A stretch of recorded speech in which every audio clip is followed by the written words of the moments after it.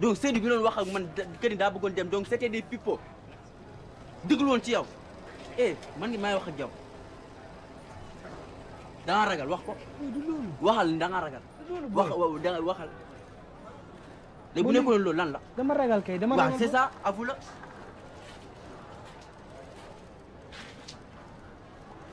d'accord.